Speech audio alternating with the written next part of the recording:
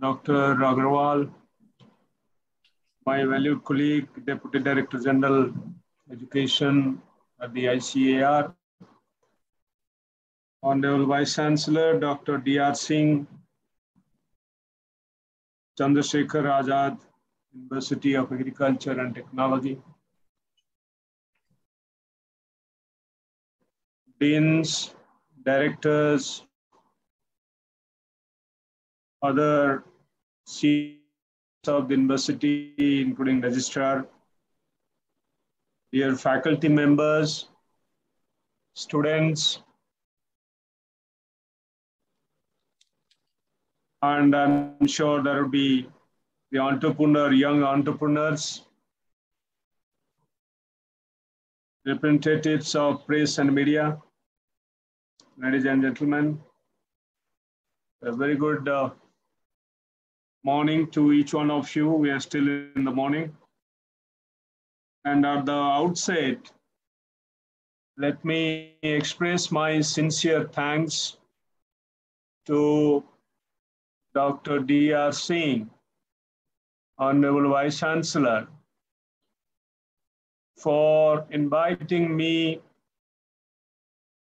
for today's program. Dr. D.R. Singh has been for quite some time insisting that we should be having the program. And in fact, uh, I had in my mind to come over to Kanpur physically and be there with you all, meet you, to greet you. And you all know that the COVID pandemic has isolated us physically. It has been punishing quite a torturous time. And more than one and a half years now,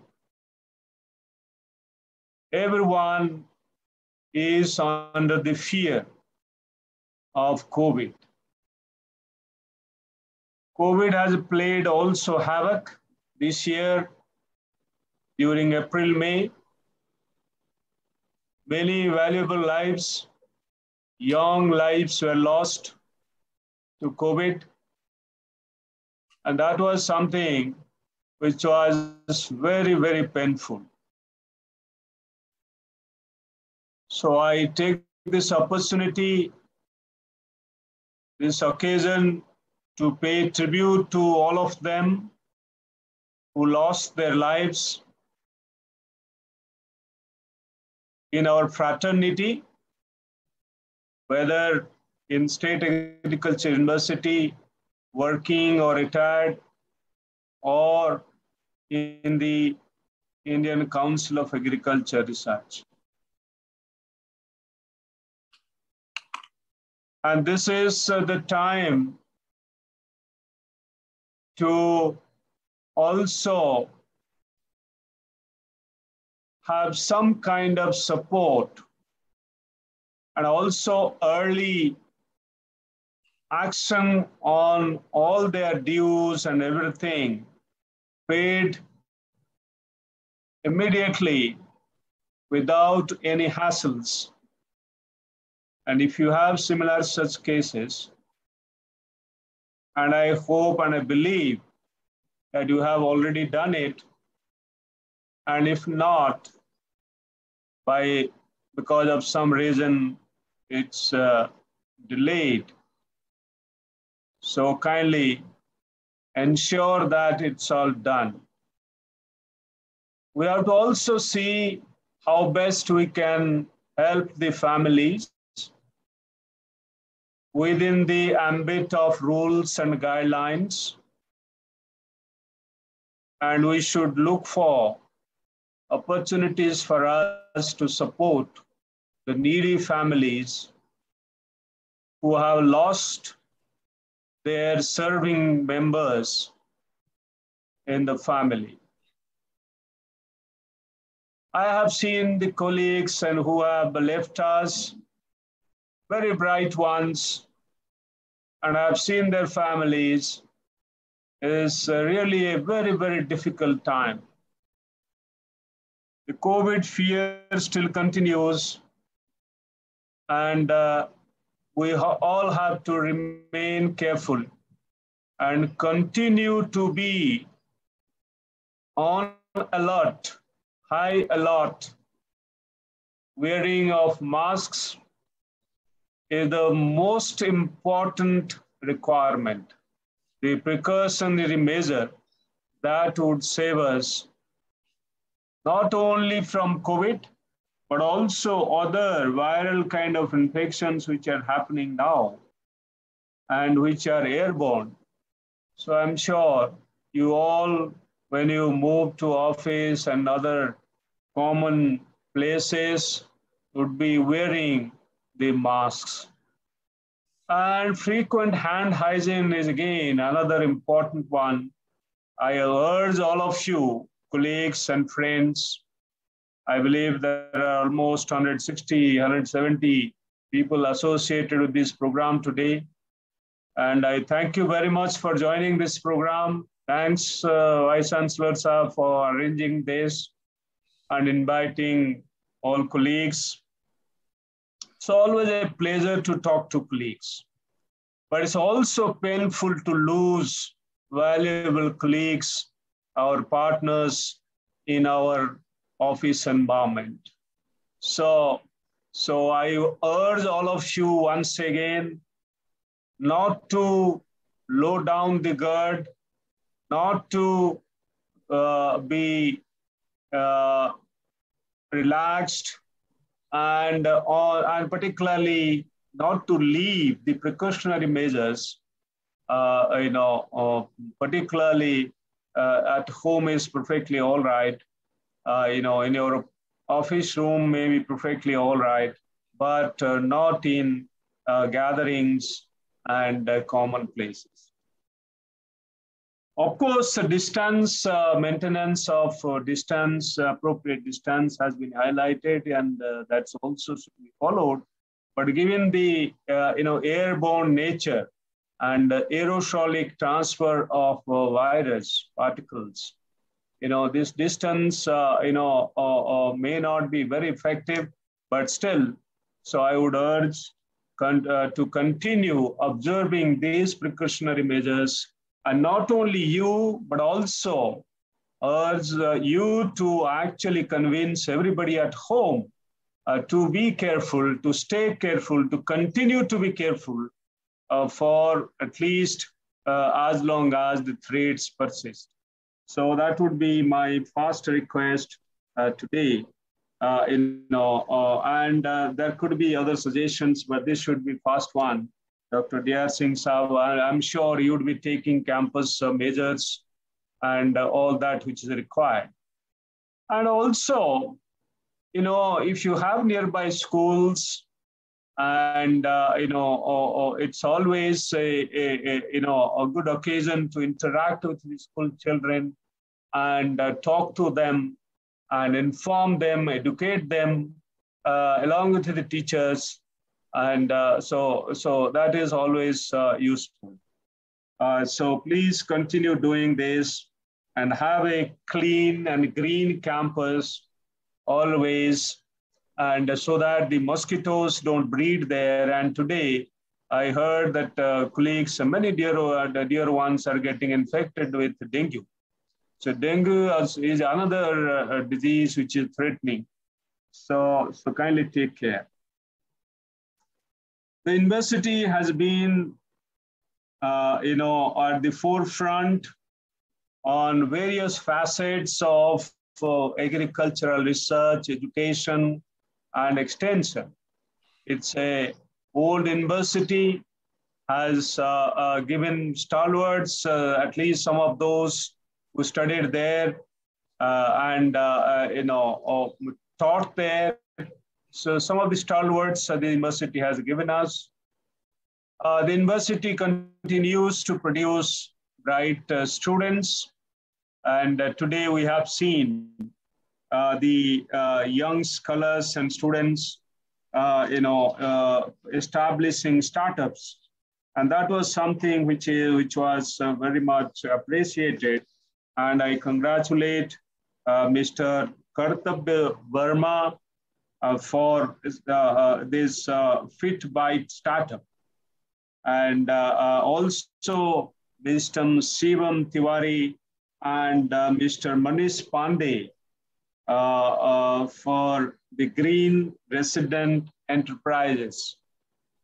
these are beautiful examples of student startups uh, in fact, uh, this, uh, you know, we have been discussing, Dr. Agarwal would remember that this is what is precisely was emphasized by the, uh, you know, a higher office, uh, including Honorable Agriculture Minister and others.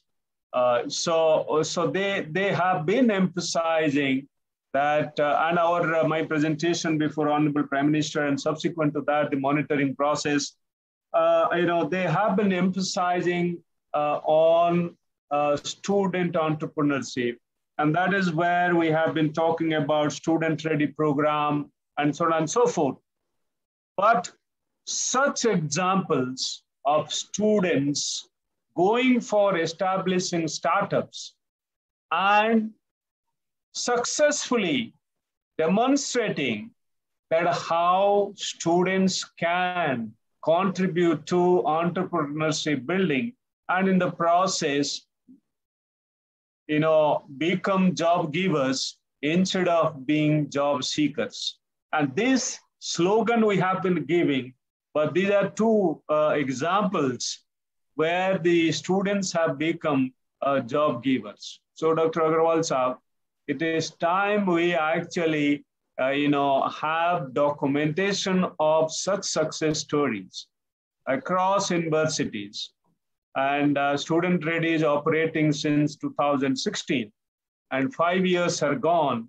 And this is the time to do a critical evaluation of entrepreneurship building and how rural entrepreneurship awareness development yojana has been operating and how successful it is. And we have documented student ready program, but I believe the documentation of these kind of examples, successful examples of entrepreneurship would be a uh, you know excellent uh, idea to uh, uh first of all habit. And second you know it would be encouragement to those students who have gone for entrepreneurship because their names should be documented there, it would be circulated all across the country and to all organizations, libraries, and also many people. So it would be advertisement for them as well. And for our own purpose, I believe it would be useful to measure and assess how successful our student ready program has been and how successful it is and what way we can make it more successful if there are some lacunae and if there are some bottlenecks that you would like to address as early as possible. So I, I request Dr. Agarwal Saab, you know, in the VC conference, this should be one agenda for discussion so that all the honorable vice chancellors are requested to build this up and provide us information so that we build this document. So this is, uh, you know, important. And these examples are, uh, you know, uh, not many. I am sure there are not many. Uh, it would be maybe in hundreds at the most, if not thousands. Uh, so, uh, so at least, you know, a few hundred could be there. And let's do this. It's a huge downpour here. So this voice, I hope it is reaching you. And uh, uh, so this is one aspect I thought we should really be taking uh, you know, action. Based on what uh, is uh, seen today, what was heard today, and for that I congratulate you, Vice Chancellor Saab, and all your faculty who are involved in this particular program. And uh, you know, we always say that okay, there are limitations in the universities, there are certain kind of deficiencies but there are many areas of success And in fact, uh, you know, we must take advantage of the strengths that we have in our university system. And uh, it's a big strength. Uh, and uh, we are together. It's a, uh, you know, kind of uh, win-win situation for us. And I'm sure our togetherness has given us rich dividends in the past. And if we continue doing this, certainly we'll be getting far more richer dividends.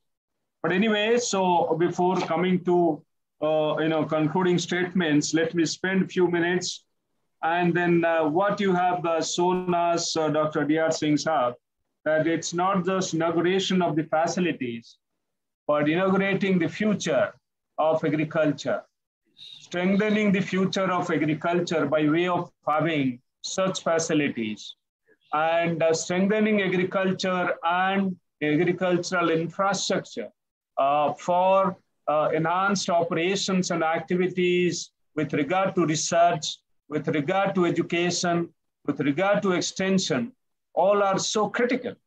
And uh, our universities are older now and getting older further.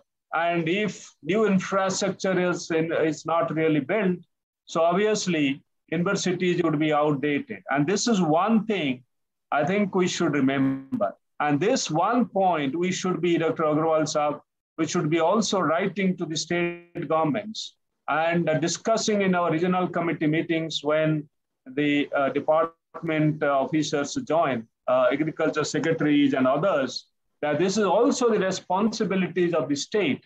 This is a partnership we have been supporting and the states also should be forthcoming. And they have been supporting in many, many states. And Uttar Pradesh is a beautiful example where the Honorable Agriculture Minister has been very supportive of university and KVK system. So, so this uh, is a very, very important point. If there are issues and concerns, we should learn this in our VC conference so that we are able to address this because infra, modern infrastructure is essential uh, is an essential component of uh, you know uh, quality research and quality education and unless we build that uh, we will be faltering so in that context again dr uh, uh, you know uh, dr singh saab and your colleagues hearty congratulations for building these successfully these, these infrastructures and you know getting them inaugurated and making them functional in the process. So getting inaugurated means making them functional. And uh, there are instances where the facilities are initiated and it takes many, many long years to complete them. And, uh, you know, in the process, the very advantage we are supposed to derive out of these infrastructure is actually not done. And we fail in that respect. So, so congratulations to you and your colleagues for this inauguration. And uh, thanks for giving us the opportunity to be part of this.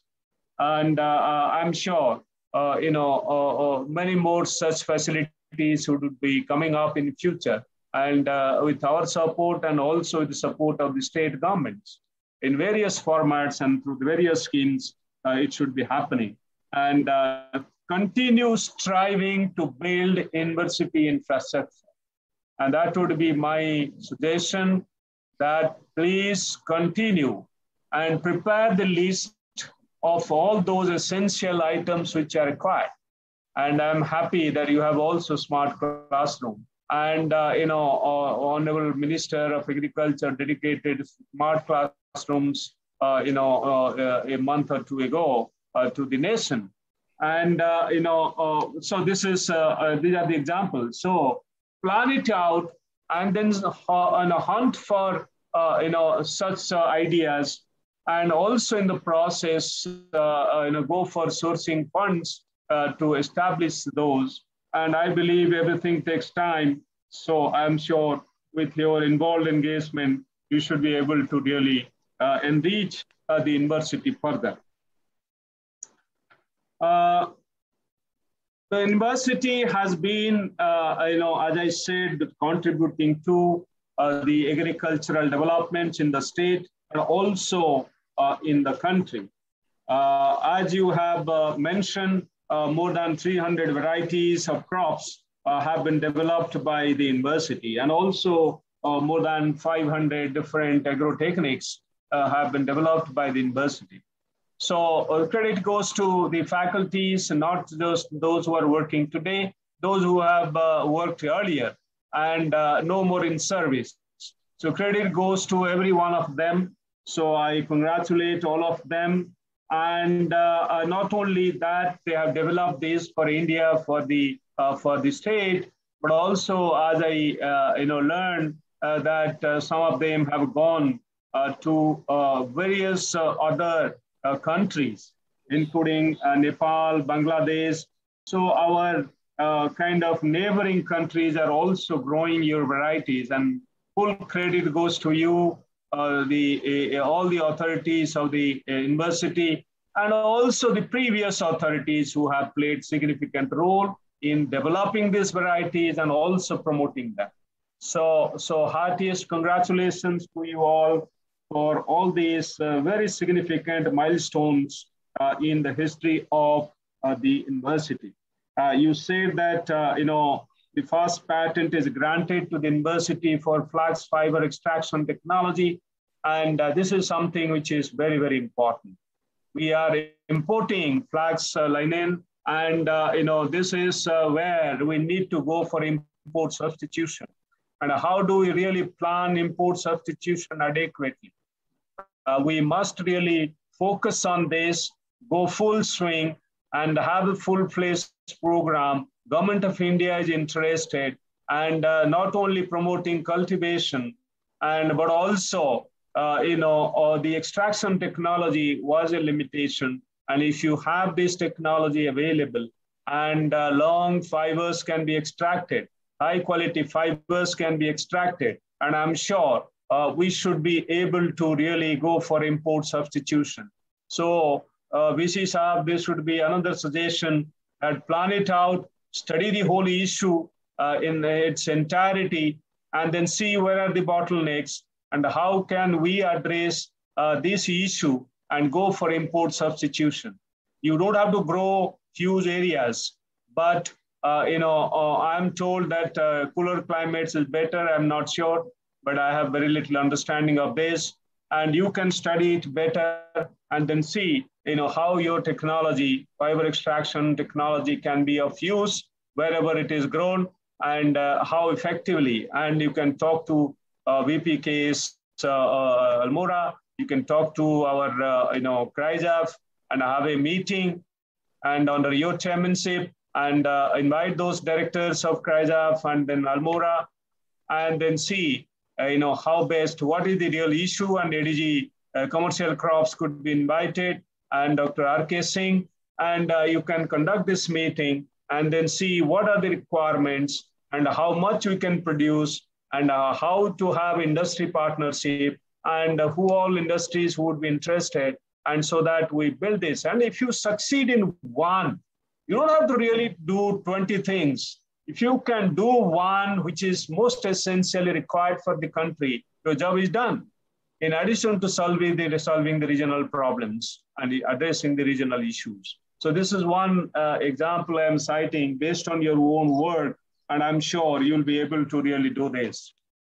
And you have also, I learned that developed, uh, you know, biofertilizers and biopesticides. So VC Saab, you know, this is the time where the central government and several state governments are promoting organic farming.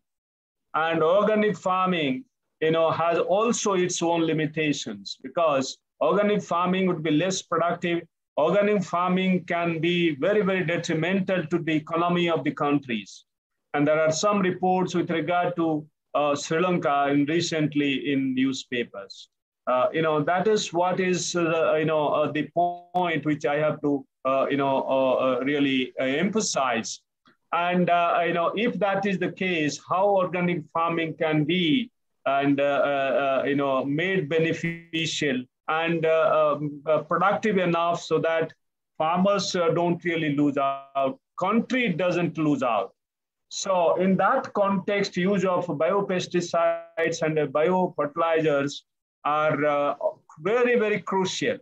And if you have such, uh, you know, kind of uh, products, biofertilizers and biopesticides, and, uh, you know, not just uh, here and there demonstrating few districts and few demonstrations. We have to go much beyond. I would urge all my scientist colleagues who are uh, you know, attending today, kindly take note of this. Our work cannot remain confined to the laboratories. We have been taking credit for very good publications, and I congratulate you, Dr. D.R. Singh Saab, you have increased publications uh, almost, uh, you know, three, four folds and from 40, 45 to 160 or something that you said. So, uh, so that is uh, something which is remarkable. And I congratulate once again you and your colleagues, uh, you know, those who have done a fantastic job and increasing publication. And also, I, I believe that some of them are very good publications. And you should see where, in terms of NAAS rating, these publications stand, and how do you improve uh, you know, on that further. And that's another action point for you uh, that, uh, you know, continuously be after that, keep analyzing, and then how many are, are above NAAS rating, seven, for instance, or eight, and then how do you, you improve upon that?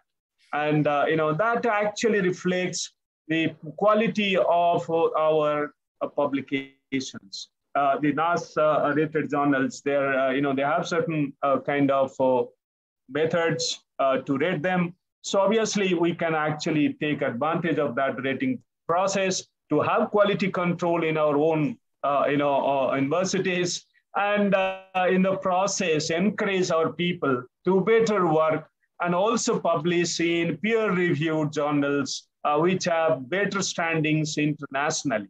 So, so that is what I would urge you and also request all the colleagues who are associated today.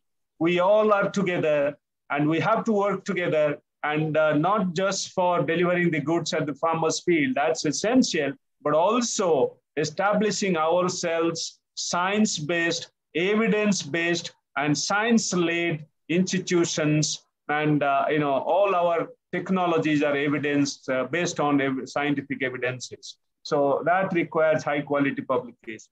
So, so Honorable Prime Minister talks about bridging the gap between uh, lab to land.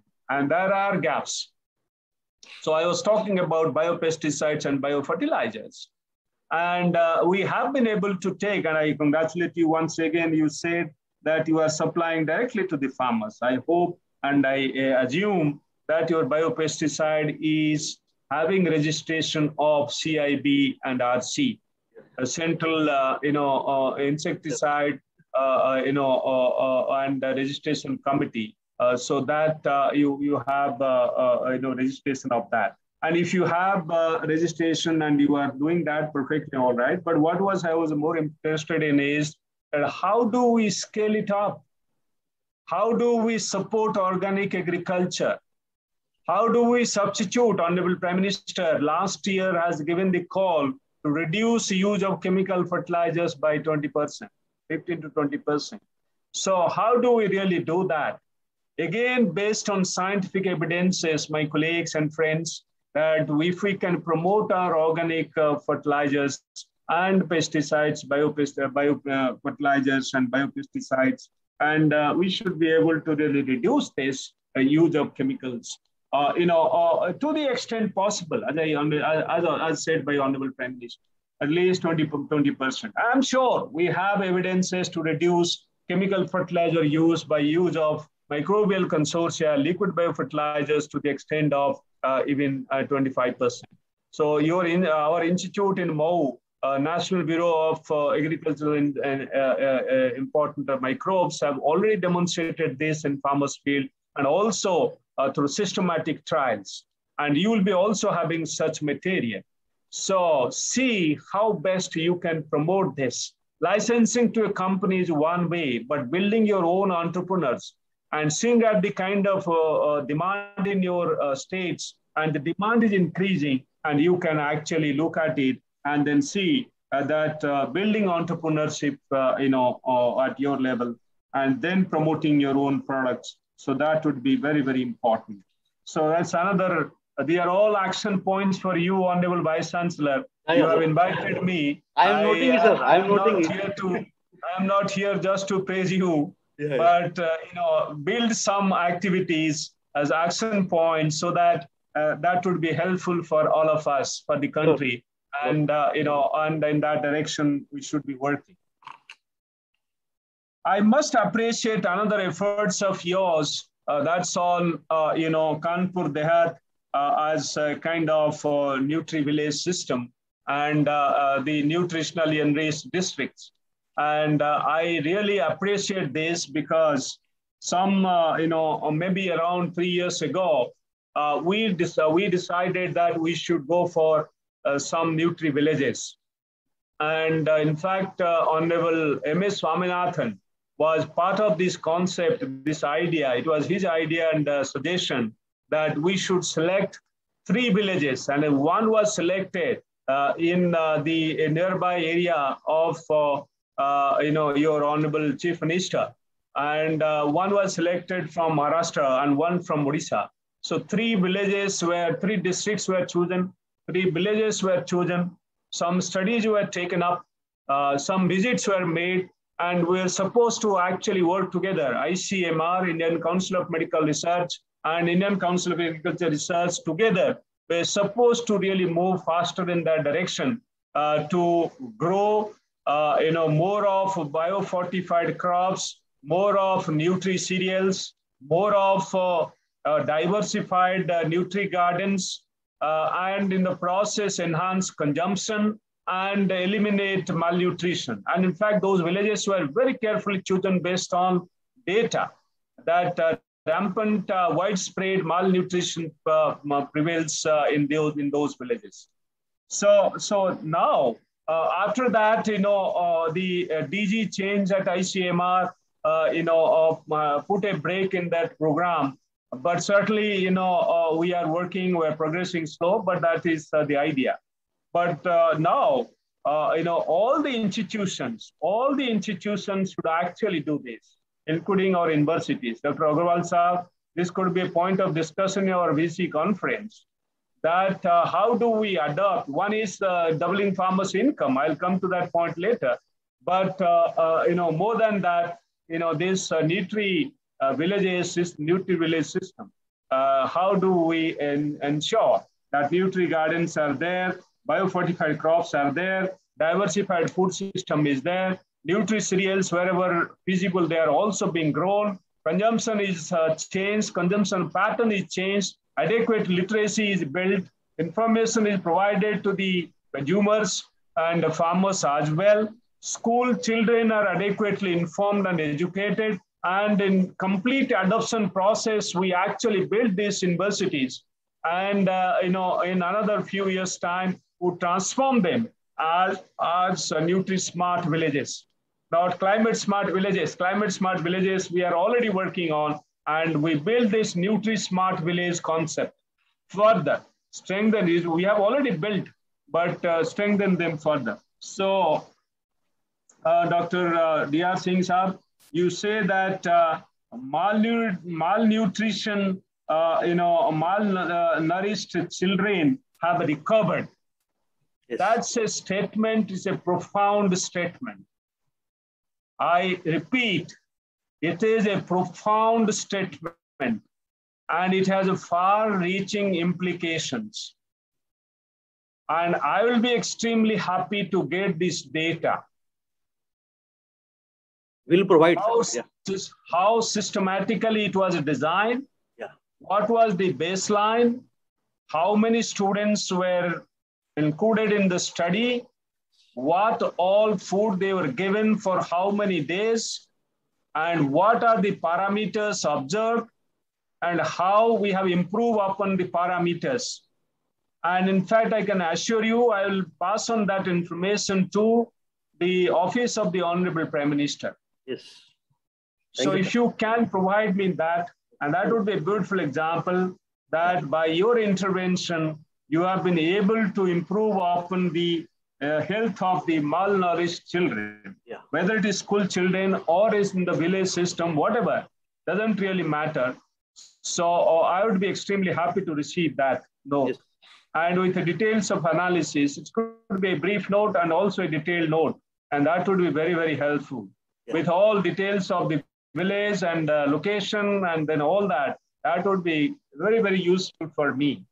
And, uh, you know, if Honorable Prime Minister gets impressed, in fact, you will also find those mentioned in uh, his expressions in various fora, including, you know, Man Baat. And uh, last time, he talked about Sukhet model of our uh, Central Agriculture University uh, at uh, Samastipur.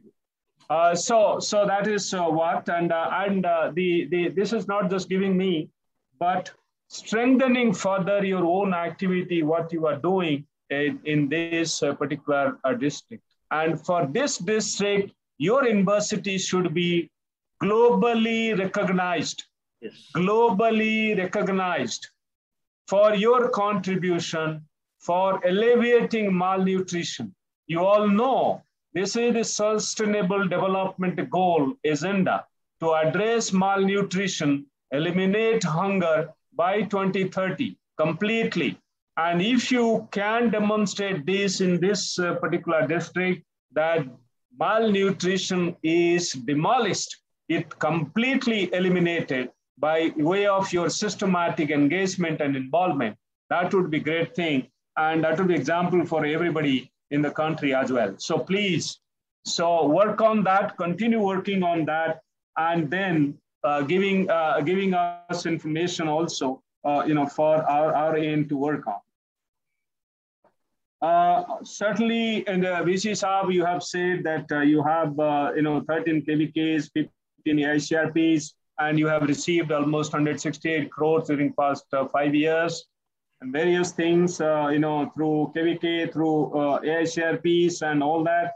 And also another 12 crores for the uh, development grants and education system and almost 180 crores and all that. Uh, but then, uh, you know, uh, certainly we would, you know, I can understand, you know, there would be certainly other technologies, other requirements for building the developing technologies and uh, you know, uh, all those ICAR would be extremely happy uh, to provide uh, you know further support.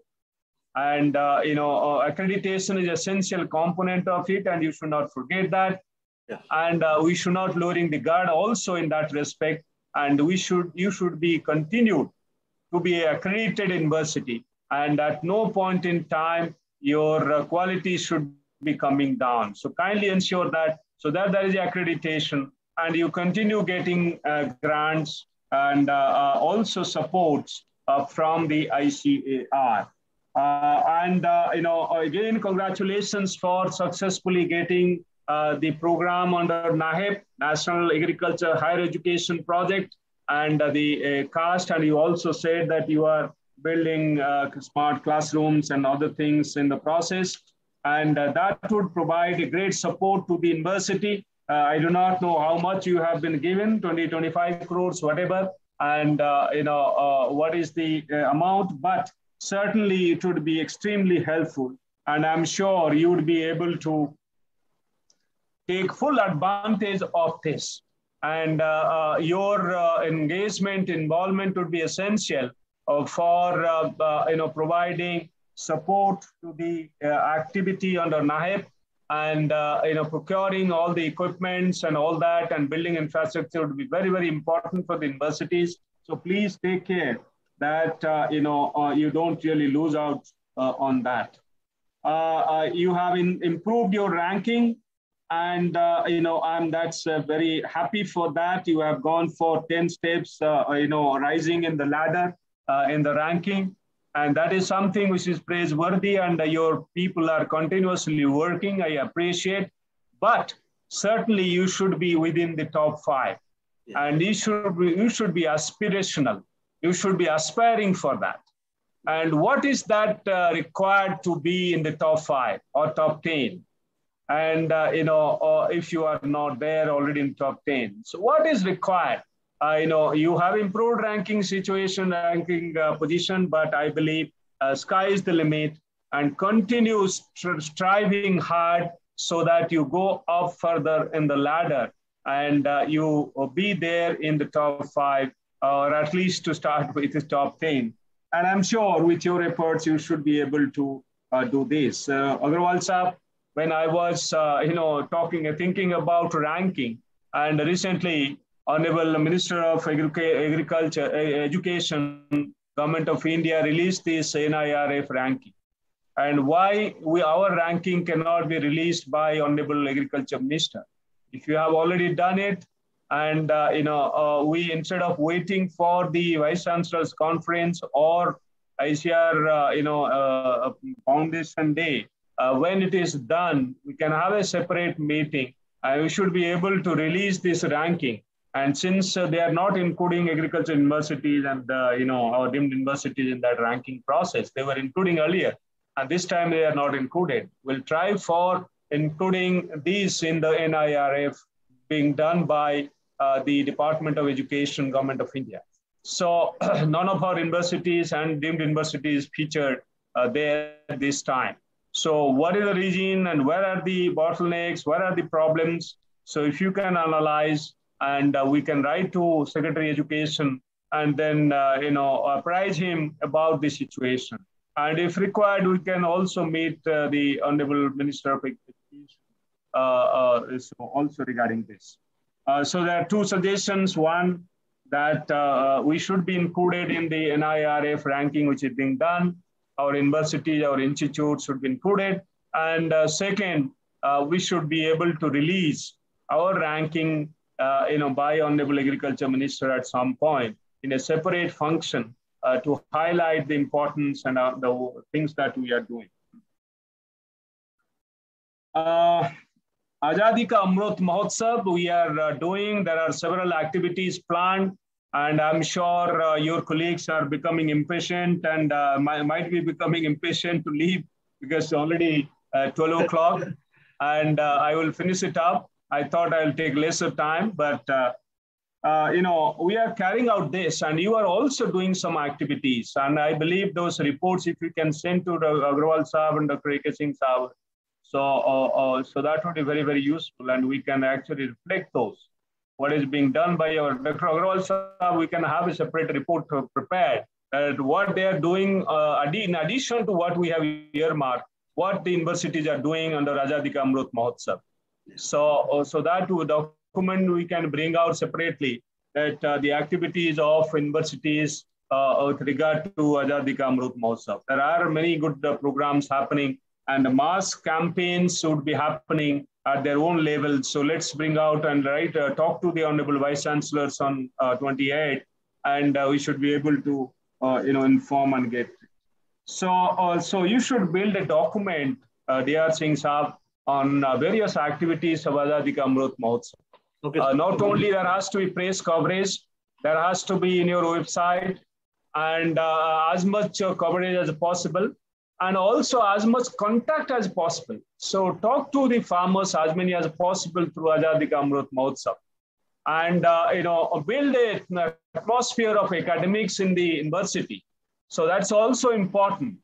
So, uh, uh, so all these activities, what I'm suggesting, uh, you know, if you can uh, spend time and get involved yourself, uh, you can transform the university and you don't require too long a period to transform. You can transform the university, uh, you know, in whatever time is left for you. So kindly work on those.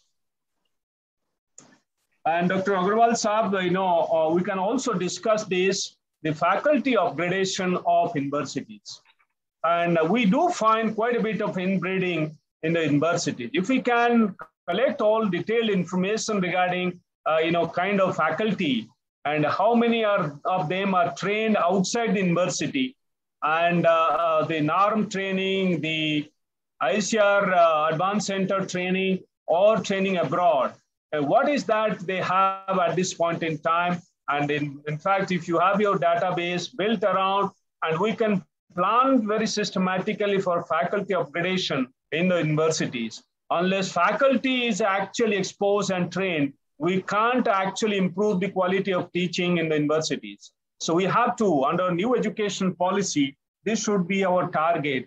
And a national higher education project should also have some component of, uh, you know, we are sending faculty abroad, but uh, we have to see how long duration, at least six months duration faculty training abroad can also be part of this. And if it is part, then how we can distribute and from every university, at least some faculty get trained in the process at a central level. We build this program, not through their individual specific programs. Wherever they are, they should be able to do that. But we can build this at the central manner and plan it properly. Of course, uh, implementation of new education policy, VC we will discuss in VC conference, and I'm sure you will be able to uh, do that and uh, you know, uh, provide your support to the implementation of uh, the new education policy. So without going further, so we have taken quite a bit of time. I have taken quite a bit of time and spoken to you on various aspects. And there are many other issues to discuss about. I only focused on the items which you talked about. Yeah, yeah. And, uh, you know, uh, and uh, discuss them further. How can we uh, go further in those areas where you are already working? And, uh, you know, you mentioned about those. And I'm sure with the support of your faculty, uh, you would take this university to newer heights. And, you know, without, you know, their support, you can't work. So always be positive always be helpful, always consider the whole university as a single family and uh, take everybody along and uh, uh see, uh, you know, interact with them as much as possible, listen to them as much as possible, and so that you build a solid team for future and build also tomorrow's leadership at the university. It should not be rudderless. It should not be having vacuum. So build tomorrow's leadership at the university. So with these words, and I would also urge all my colleagues from the university who are attending, you know, you should also extend all the supports to the Vice Chancellor. And, uh, you know, personally goes and uh, uh, jealousy and all that, uh, we should leave behind. We are human beings, they're all there in us. And unless we keep them submissive, uh, we cannot contribute to a common good, uh, to the university benefits. We can't, and uh, we would be selfish rather. So, so if you are forthcoming, if you are providing support, and if you are working in the spirit of a uh, teamwork, so you would be able to really do better, contribute better. And that is what I would expect from all the faculty and all the staff uh, who are associated with this program today. So uh, 20 people have left. If I speak more, there will be further depletion. So I uh, once again thank you, Dr. D.R. Singh, for inviting me. And uh, Dr. Agrawal Saab, it's a good thing to be uh, there, to be uh, together. So thank you very much and wish you all the very best. We stop here. Respected sir, thank you very much for such a thought-provoking address, which have given us all many